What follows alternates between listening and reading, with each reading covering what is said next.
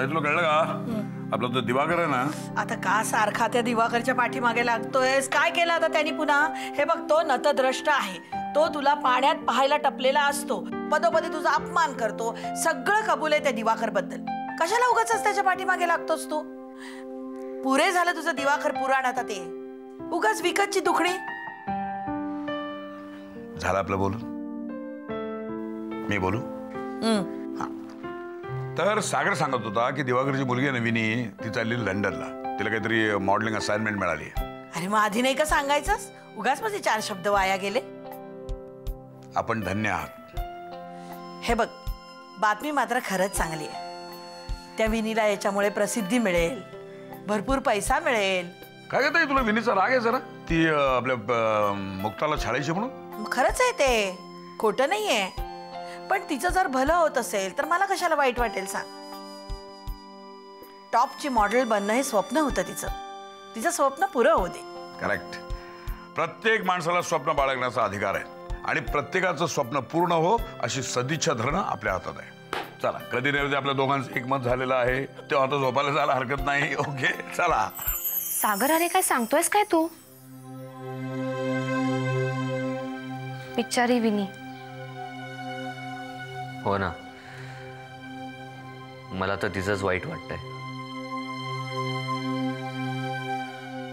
म्हणजे पैसे गेल्याचं दुःख नाहीये ग. पण विनी खूपच डिप्रेस्ड आहे. हो रे. हे असं कोणाच्याही बाबतीत होऊ नये. आणि कसं असतं ना मुक्ता? ह्या सगळ्या गोष्टींबद्दल ना स्वतः आधी नीट चौकशी करून घेतली पाहिजे ग. आमच्या विनीला कोणीही काही सांगतं आणि लगेच धावत सुटते. आणि शिवाय मेघना की आहेच तिला लाडावून ठेवायला. काहीही विचार न करता सगळे हट्ट पुरवत असते तिचे. एनिवे आय होप यानंतर तरी विनीला थोडी अक्कल येईल.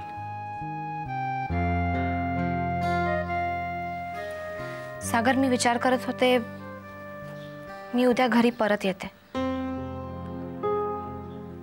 तू येशील ना मला न्यायला? हो येणार आहे.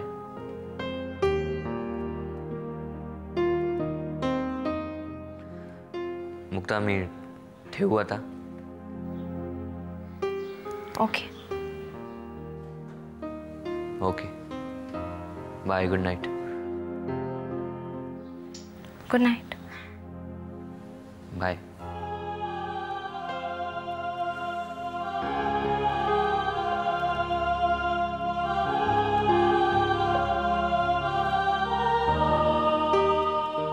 नाथा भेटलो मी आज त्या राजूला. काय म्हणत होता? चिल्लर राजू. म्हणत बरंच काही होता. पण सगळ्यात महत्वाचं म्हणजे सागरचा एक मित्र आहे. विजय. या विजयला म्हणे सागरबद्दल असं काहीतरी माहिती आहे. ज्यामुळे सागर त्याला घाबरून असतो आणि तोंड बंद ठेवण्यासाठी वरचेवर पैसेही देतो म्हणे. अच्छा. असा झोल आहे काय? ते पण या विजयावर आपण विश्वास ठेवू शकतो? राजूचं तरी असं म्हणणं आहे. उंदराला मांजर साक्ष. बर मला सांगा हा विजय खात्रीला आहे का नाला आहे? या राजू सारखा.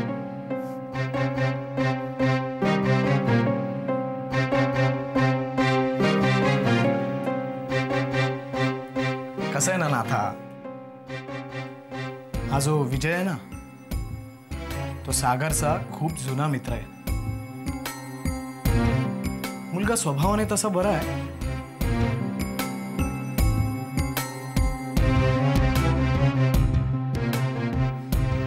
पण सागरच्या प्रत्येक व्यसनात तो त्याला सामील होता.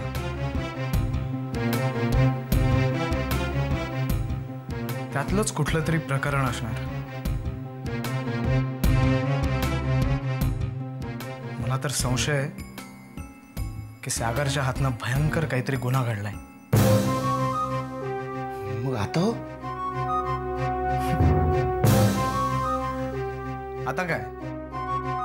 सागरचं ते सिक्रेट कळेपर्यंत विजय आपला बेस्ट फ्रेंड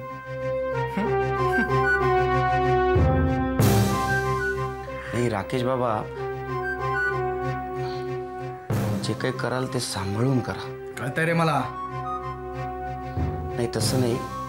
हे विजय आणि राजू सारखी रद्दी मुलं फार डेंजरस असतात दोस्तीला. जरा सांभाळून.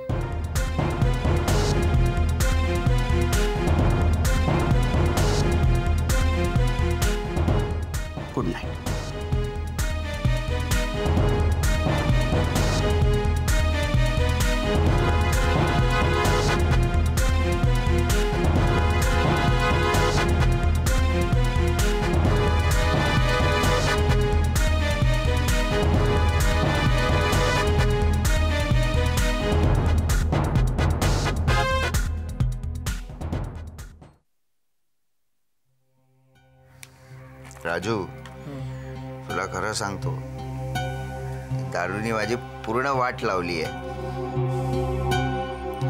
अरे असं बघू नकोस.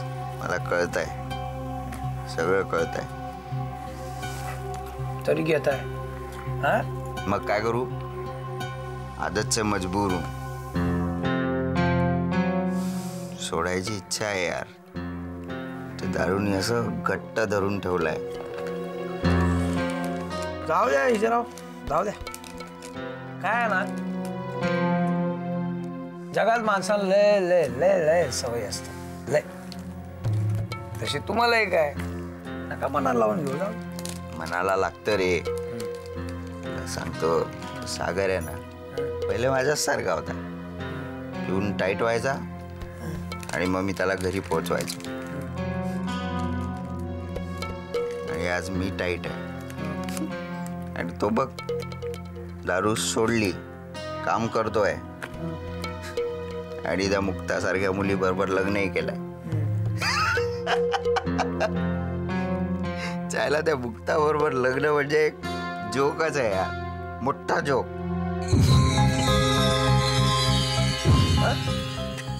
सागर बाबाचं लग्न मुक्तताईंशी झालं म्हणजे जो काय हा? तुम्ही बोलले ना आता. जोक? हा त्यांचं लग्न जोक आहे. काय आहे? सांगा. मी बोललो जोक. काही काय जोक मारतोस यार. चल तू मला एक जोक सांग. एक. जोक. सांगतो जोक. जोक.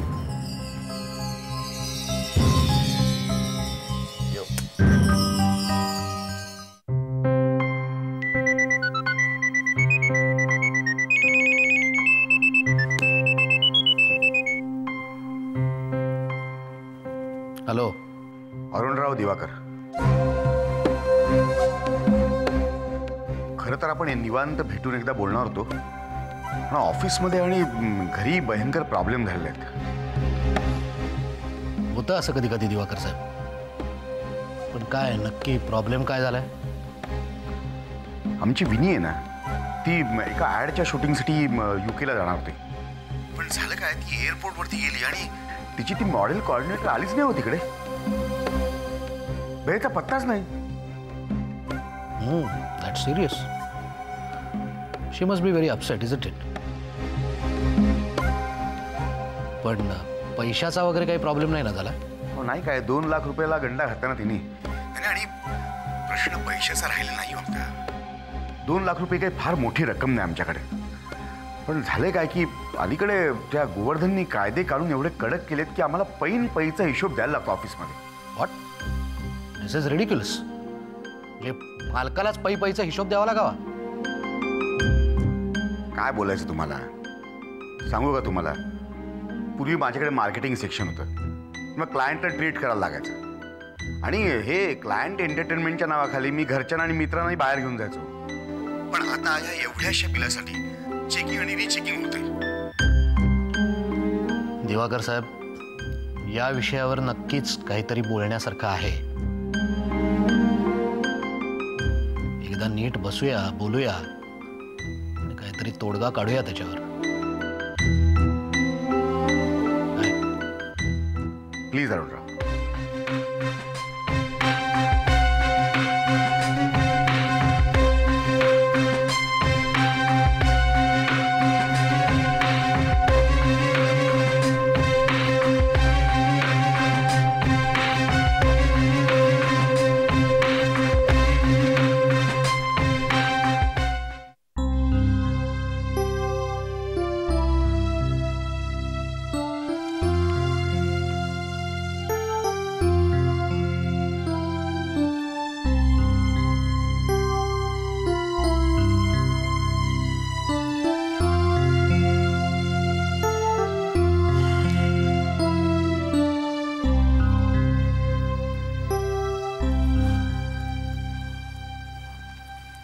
बाबा. अरे अजून झोपली नाहीस तू? झोप लागत नाहीये. कसला एवढा विचार करतेस?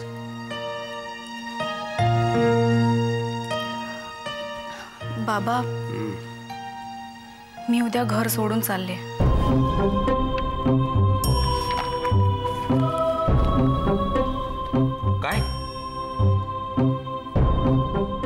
काय बोलतेस हे? तुझं तुला कळतंय का?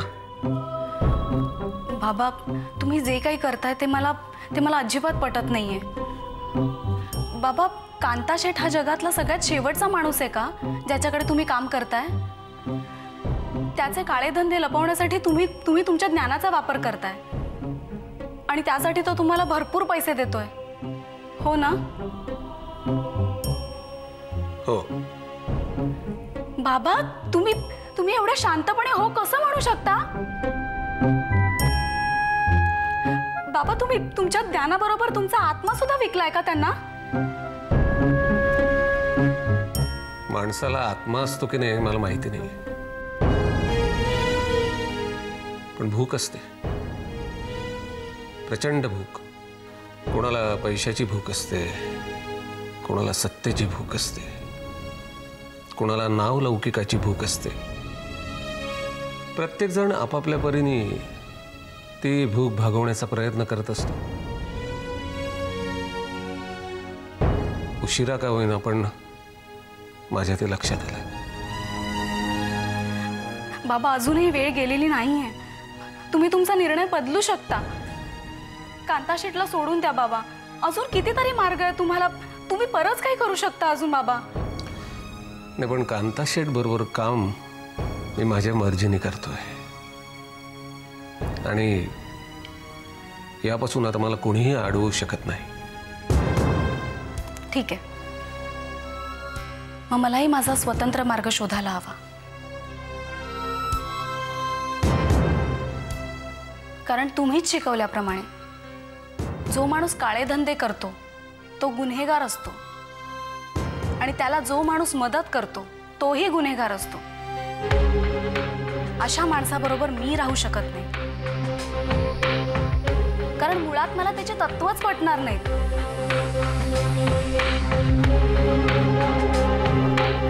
मग भले भले तो माणूस माझे बाबा असतील तरी चालेल.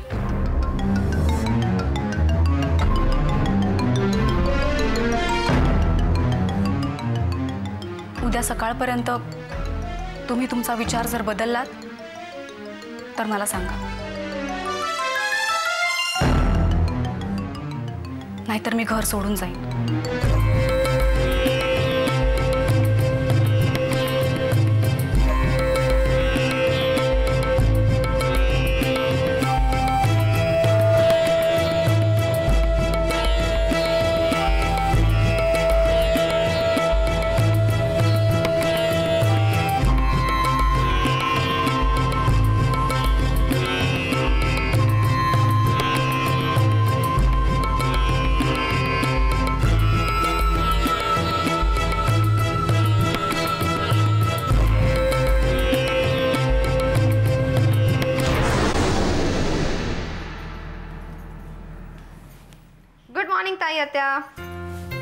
गुड मॉर्निंग अरे वा. काय सकाळी सकाळी काय चाललंय? ब्रेकफास्टची तयारी. ही एवढी? हम्म, हे बघ मी चीज सँडविचेस केलेत आणि आत्तासाठी समोसे करते अगं बाई एवढं सगळं कशासाठी हे? अगं पप्पा एकदा ऑफिसला गेले की येत नाहीत ना परत लंचला मग असं करते मी त्यांच्या लंच बॉक्समध्ये चीज सँडविचेस देते आणि आत्ता आपल्यासाठी समोसे. ओके? शोभतेस ग बाई शोभतेस. संसारात मुरलेली गृहिणी शोभतेस. आत्या संसारात मुरलेली गृहिणी ही पदवी मला मिळवायची आहे. त्याचीच ही प्रॅक्टिस चालली एवढी प्रॅक्टिस केलीस तर सहज मिळेल पदवी तुला. काय माहीत? म्हणजे ग काय? अगं प्रभूंच्या घरातली ही प्रॅक्टिस मला काय तिकडे उपयोगी पडणार नाहीये. तुला तिकडच्या खाण्यापिण्याचं रुटीनच माहीत नाहीये. ऐकलंस तर वेडी होशील. हे बघ सकाळी एकतर मानची कॉफी असते. नंतर विदुलाचं चॉकलेट मिल्क कोणाला स्ट्रॉंग कॉफी कोणाला माइल्ड टी कोणाला कडक चहा कोणाला ग्रीन टी काही विचारू नकोस. या सगळ्यांचे लाड पुरवण्यासाठी ना दिवसाभरात शंभर प्रकार बनवावे लागतात. या सगळ्या जेवणावरती मी नुसती देखरेख जरी केली ना तरी दमायला होतं. किंवा देखरेख करणारा माणूस आयुष्यभर उपाशी तरी राहील. काय ग बाई या खाण्याचा तारा म्हणायच्या की लाड? ए बाई सकाळपासून इतक्या गप्पा मारल्यात तुझ्याशी. मला निदान एक कप गरमागरम चहा तरी मिळेल? ऑफकोर्स मिळता येत्या तू बस मी आत्ता करून आले.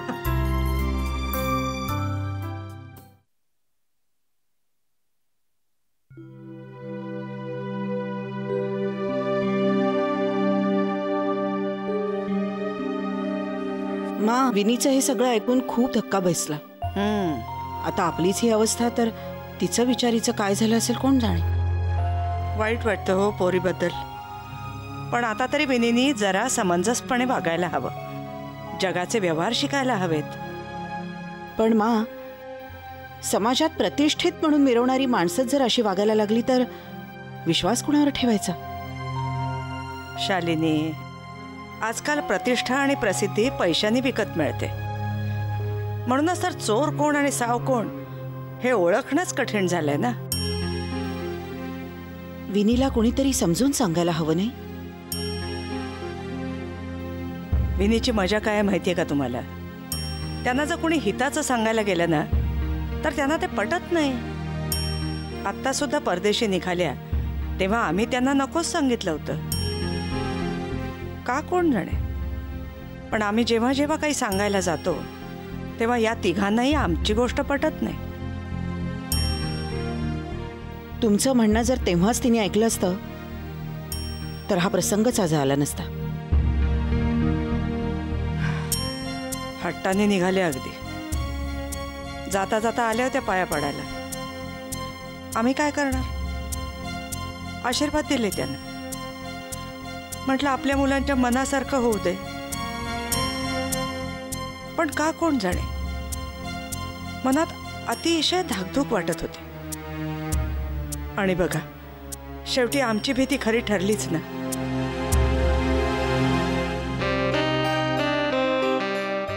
दुर्दैव विनीचं आणि आपलं सुद्धा.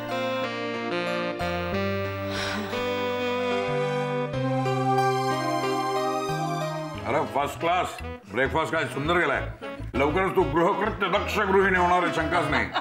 म्हणजे? आधी शंका होती तुम्हाला? शंका म्हणजे काय? पहिलं तुझं काय झालं? सगळी धावपळ हुशारी ही सगळी चालायची ती बाहेरच्या कामात घरच्या कामात नाही. तेच मला विचारायचं म्हणलं सासरी गेल्यानंतर काय करणार ही पोरगी? पप्पा प्रत्येक गोष्टीला एक वेळ यावी लागते. येस हे खरंय अगं पण ही तुझी ताई हत्या हिला लहानपणी कोणी बघितलं असतं ना तर खरं वाटलं नसतं की ही पुढे उत्तम शिक्षिका आणि उत्तम गृहिणी होणार आहे म्हणून. आता पुऱ्या गोवर्धन. का? काय करायची ताई आत्या? काय करायची? काय नाही का हा उगीच काहीतरी सांगत असतो. काय ताई उगीच काय उगीच काय? पप्पा मला सांगा ना प्लीज तुला सांगतो ही गँग लिडर होते गँग लिडर आमच्या चाळीतल्या सगळ्या पोरांना जमा करायची. आणि मग काय पतंगाची काटाकाटी भोवरा विटी दांडू असले खेळ खेळायची. दही अंडी फोडत एक नंबर. बाप रे! ताई आत्या?